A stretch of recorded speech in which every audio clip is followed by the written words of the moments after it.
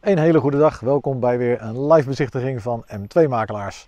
We staan vandaag in de fantastische wijk Pauwenburg in Vlissingen. Nou, Pauwenburg, rand van, eh, van de stad. Uh, ja, een ideale wijk, uh, omdat je hier echt op loopafstand zit van strand. Je zit vlakbij de zee. Ehm, je hebt bossen hier vlakbij. Er is ook heel veel groen en openbare ruimte hier in de omgeving. Dat is natuurlijk hartstikke fijn. En je hebt een heel groot wijkwinkelcentrum eigenlijk vlak om de hoek. Dus alle voorzieningen binnen handbereik en dan een hele fijne, ruim opgezette grote straten. Dus eigenlijk ideaal en optimaal. Nou, en aan deze uh, leuke straat, we staan in de mei van Streefkerklaan, krijgen we een woning te koop hier uh, achter mij op nummer 12. Nou, een keurig uh, gezinshuis zoals te zien is. kunst of kozijnen zitten erin. Goede tuinligging, lekker veel ruimte. Dus ik stel voor dat we eens even binnen gaan kijken tuin hier aan de voorkant is ook leuk aangelegd. Ziet er allemaal hartstikke netjes uit. Fijne van zijn voortuin is ook dat je wat afstand hebt zeg maar, richting, uh, richting de straat natuurlijk. Kijk, en zo komen we binnen hier in de centrale hal beneden. En we beginnen boven, waarbij we even opmerken dat deze trap prachtig bekleed is. Keurig netjes uitgevoerd met een uh, upstairs uh, systeem. nou, dat is natuurlijk altijd mooi. Wat ook doorloopt hierboven in alle slaapkamers. Maar als eerste beginnen we even helemaal boven. Ik heb de vliezeltrap al eventjes uitgeklapt. Want dat is best een bijzondere verdieping hierboven. we hebben een vliezeltrap naar boven. En hier op de tweede verdieping van dit huis uh, zit eigenlijk best een behoorlijk grote zolder. Ik kan hier dus gewoon prima rechtop staan. Ik denk dat het ongeveer 1 meter, zal zijn, 95 of zo in de nok uh, hoog is. Um, want ja, je hebt hier natuurlijk, het is een beetje een overstapje. Maar er zit hier wel echt een complete kamer in is ooit gebruikt als een, als een studeerkamer voor, de, voor iemand. En uh, ja, je kunt hier natuurlijk heerlijk rustig zitten. Uh, het broodje staat er nog. Veel bergruimte zit erin, achter de schotten. Ehm, ja, toch wel een multifunctionele ruimte. Bijvoorbeeld als ja, logeerkamer of iets van die naast zou natuurlijk ook gewoon heel goed kunnen. Nu is naar gekeken om te kijken van, goh, kan er nou een vaste trap in? Nou, dat kan eigenlijk niet. Dat is gewoon lastig hier eh, bij deze woning. Ehm, wat wel een heel goed alternatief is, is een elektrische vliezentrap. Die kan precies in dit gat gemonteerd worden. Dat zijn standaard maten. Dan heb je een afstandsbediening en dan kun je vanaf de ja, verdieping hieronder op een knopje drukken. En uh, gaat de trap naar beneden.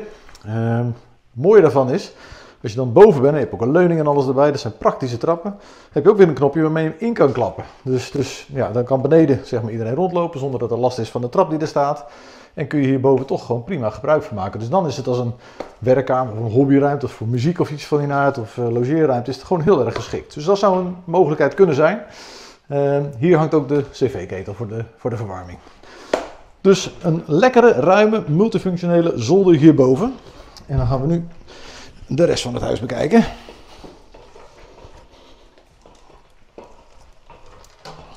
Het is wel een praktische trap. Loopt eigenlijk prima. We gaan hem even snel proberen in te klappen. Nou, kijk eens aan. Dat vult nog niet tegen. Kijk, met een handig stokje. Schuiven die zo naar boven. Leuk even netjes dicht. Zo. De overloop. Hier kom je netjes boven. Dit soort huizen kenmerkt zich door best wel een ruime overloop, dus dat is lekker.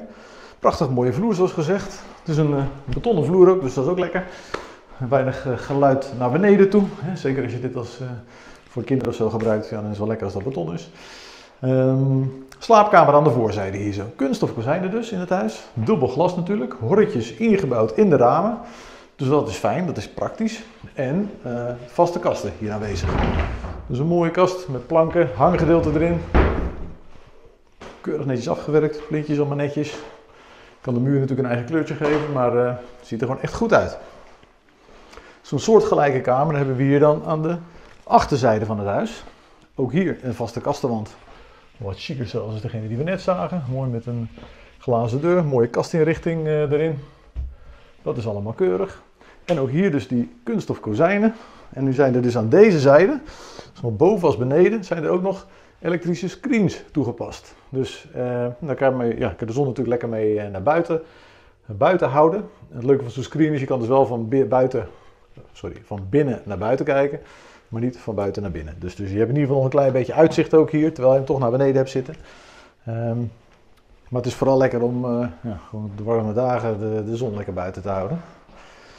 Dus twee grote slaapkamers, of eigenlijk drie grote slaapkamers. Want deze derde slaapkamer, ook aan de achterkant gelegen, is eigenlijk ook nog gewoon echt een ruime kamer. Is echt prima van, uh, van formaat. Er kan prima kast, bed, bureau zonder problemen geplaatst worden. En uh, nou ja, ook hier netjes afgewerkt. Kunststof kozijnen, horretjes. Helemaal piekfijn in orde. Nou, vanuit die overloop is er uiteraard ook de badkamer te bereiken. Nou, ook die is gewoon netjes. De wasmachine wasdroger uh, staat hier. Um, en er is hier dus een hoek, een nisje als het ware, waar dus de douche te vinden is. Thermostaatkraan erin. Uh, ventilatie zit erin in de badkamer. En er is hier dus een grote ja, wastafel met een groot meubel, flinke kastjes en alles erbij. Dus ook oh, hartstikke praktisch uitgevoerd. Allemaal goed en netjes qua uitvoering. Nog een vaste kast. Daar zit uiteraard een beetje de rommelspulletjes in die je niet in zicht wil hebben. Dus die laat ik even dicht. En via de trap met de mooie aluminium reling lopen we weer terug naar beneden. Nou, komen we even terug in de hal waar we net eh, gestart zijn natuurlijk. Um, het toilet. Keurig netjes. Een raampje erin. Kan soms wel eens prettig zijn. En onder de trap zit nog een grote bergkast, een grote trapkast. Hier in de hal liggen plavuizen. Dat is natuurlijk super handig omdat het lekker praktisch schoon te houden is. In zo'n gang. En hier in de woonkamer kan er uit waar een prachtig mooie parketvloer ligt. Ja, het is gewoon een lekkere kamer. Je hebt veel licht, dus dat is fijn natuurlijk. Goede, goede daglichttoetreding hier, ventilatieroosters in de kozijnen. Uh, door die grote voortuin zit je ook niet gelijk op de straat, dus het geeft ook lekker wat, wat afstand. Sowieso zijn de huizen best ver gelegen hier. Dat, uh, tegenstelling tot uh, ja, de nieuwere wijken waar alles echt op elkaar staat, heb je hier nog lekker, lekker die, die ruimte. Um, ja, het is gewoon een mooie ruime woonkamer. Goede zithoek aan deze kant eetkamer hier aan de tuinzijde. Daar is de vensterbank net wat lager. Zodat je ook vanuit je uh, zitpositie als je aan het eten bent, kijk je leuk die tuin in. Ook altijd prettig. En natuurlijk veel licht. Hier zit dus ook dat screen. Hè? Dus, dus het is hier ook uitgevoerd. Aan de voorzijde ook op de begane grond. Um, en de keuken die is dus uh, ja, eigenlijk uitgebouwd. Hè? Dus een stuk aangebouwd aan de woning, aan de, aan de tuinzijde. En daar is die keuken gekomen. Nou ja, heel belangrijk, een lichtkoepel erin. Um, ja, je ziet vaak bij een aanbouw dat met name het gedeelte in de woonkamer wat donker wordt. Nou, zet je er een lichtkoepel in, heb je daar dus geen last van. Deze kan ook nog eens open, dus je kunt hem open slingeren en ventileren. Dus dat is ook gewoon heel prettig. Nou ja, keuken is gewoon netjes. Alles zit erin. We hebben een, een gaskookplaat, er zit een oven ingebouwd. Vaatwasser is ingebouwd. Afzuigkap, koelkast. Eigenlijk alle apparatuur die we tegenwoordig willen en verwachten zit er allemaal netjes in. En vanuit die keuken kun je dan ook de tuin in.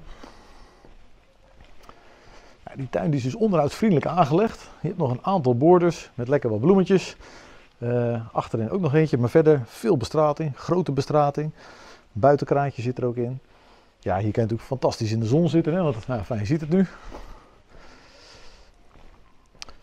Die zon die draait een beetje zo over het huis heen eigenlijk. En jij hebt gewoon echt de hele dag volle bak zon. Lekker hier achter in de tuin. Het is hier breed. Hè? Dus je hebt goed veel breedte, goed veel ruimte. Um, dus je kan hier ja, mee, mee, doen eigenlijk wat je, wat je zelf uh, wenst natuurlijk. Nou, achterkant ziet er allemaal prima uit. De kunststof kozijn, ik heb het al een paar keer gezegd. Dat is natuurlijk keurig netjes.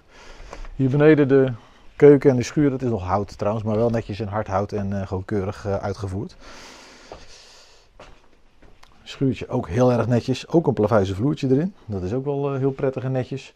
En best wel ruim. Dus je kunt hier goed je fietsen in kwijt. En nog wat uh, ja, andere spulletjes. Uh, je tuinkussens kan ik me zo voorstellen. Hè. Die moet het ook ergens. Dat past er allemaal zonder problemen in. Dus eigenlijk een keurig eengezinshuis. Goed onderhouden. Netjes van uitvoering. Lekker ruim en op een fantastische plek. Dus alle voorzieningen binnen handbereik. Gewoon een keurig nette woning en een hele mooie locatie. Nou, tot zover heel even de rondleiding hier in het huis aan de Mei van Streefkerklaan nummer 12 in Vlissingen. Is uiteraard ook in het echt te bekijken, dus als er belangstelling is, neem even contact op met M2-makelaars. Ik laat hem heel graag ook in het echt zien. Voor nu bedankt voor het kijken en wellicht tot de bezichtiging hier of de volgende live bezichtiging bij M2-makelaars.